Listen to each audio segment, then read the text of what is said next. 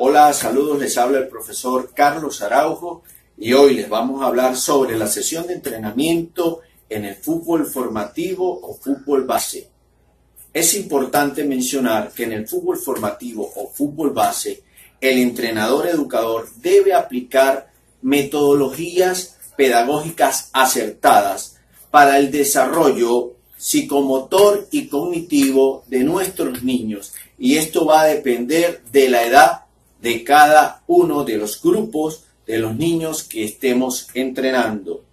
Las sesiones de entrenamiento en el fútbol formativo están compuestas por tres partes. La parte inicial, que es la explicación y el acondicionamiento neuromuscular. La parte central es donde incluimos los objetivos específicos de acuerdo a los programas de enseñanza que estemos aplicando, respetando las metodologías pedagógicas acordes a la edad de nuestros niños. La parte final, que es la vuelta a la calma o la relajación, donde podemos acotar y fortalecer las cosas más importantes que tuvimos en la clase de fútbol. La duración de la sesión de entrenamiento va a depender de la edad de nuestros niños, que está entre 45 minutos y 90 minutos.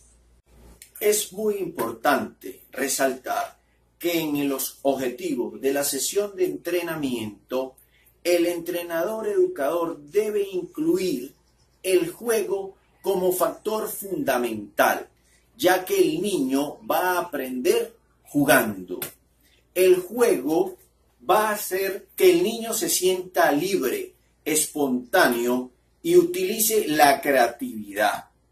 El entrenador educador como motivador fundamental debe incluir el juego y desarrollar las habilidades y destrezas básicas, coordinativas y técnicas a través del mismo.